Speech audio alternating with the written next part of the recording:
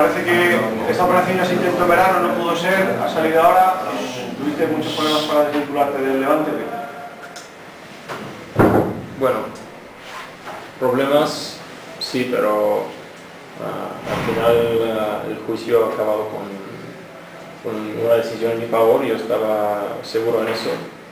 Y por eso he tomado esa decisión de, de ir al juicio, porque creo que se han portado injusto conmigo y, bueno, ya no quiero hablar más de Levante, esto ya es un tema olvidado para mí y quiero centrarme ahora con mi, con mi club que es el Valladolid, que, que quiero agradecer al presidente, a José Luis, que, que han confiado en mí y, y bueno, yo voy a darlo todo por este club en estos seis meses y, y ojalá en muchos más años aquí. ¿Tenías las ofertas aparte de Valladolid?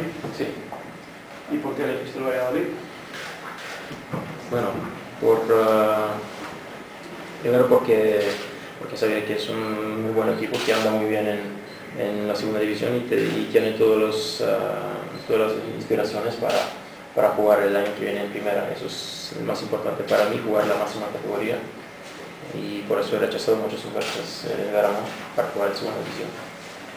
Siempre es complicado llegar a un equipo en invierno, pero si encima el equipo, por lo menos desde fuera de la imagen, de estar tan compacto y tan redondo, me imagino que el reto para ti es mayor, ¿no? Sí, sí, sí, yo he visto ayer el partido, estoy encantado con el equipo, están trabajando muchísimo. Hoy el entrenamiento ha sido muy intenso. Esto es lo que a mí me gusta, trabajar fuerte y, creo que, con este equipo y, y con el entorno que, que hay aquí, pues el objetivo puede ser solo el ascenso. El entrenador dijo ya hace tiempo que si venía un refuerzo arriba tenía que estar acostumbrado a poder estar en el banquillo porque el principio titular es Llorente. No, para mí no hay ningún problema, yo, a, mí me falta, a mí me falta muchísimo ritmo, estaba parado casi cuatro meses y, y, bueno, cuando esté, cuando esté bien y el entrenador lo, lo, lo cree conveniente, no hay ningún problema.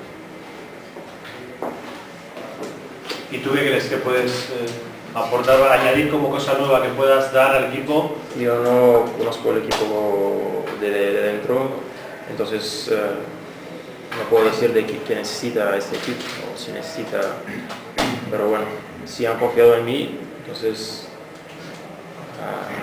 al cuerpo técnico le, ha gustado algo de, de mis características, entonces creo que puedo aportar cosas. ¿Le viste jugar anoche? ¿Viste el partido de anoche? ¿Qué te pareció? Yo lo he dicho que estoy encantado y estaba muy sorprendido porque uh, me han dicho que, que, han jugado los suplentes y, y estaban muy encima del día de ayer. Entonces, bueno, el equipo estaba muy bien. Hablabas de forma física, hablabas de cuatro meses parado, con esa... Parado digo, parado digo sin, sí, de competición. Sin competición. Entonces, yo... ¿Cuánto crees que necesitas para más o menos bueno, estar en igualdad de condiciones con tus compañeros en los entrenamientos? Eso no se, esto no se puede decir, esto depende de, de muchas cosas, pero bueno, creo que 10, 15 días pues estaré, estaré mucho mejor que ahora. La continuidad aquí la próxima temporada puede depender del número de partidos que juegues o minutos o no, o ya se hablará cuando acabe la temporada. Yo, yo no pienso en esto ahora mismo. Ahora mismo pienso solo a, trabajar y, y, a dar al equipo.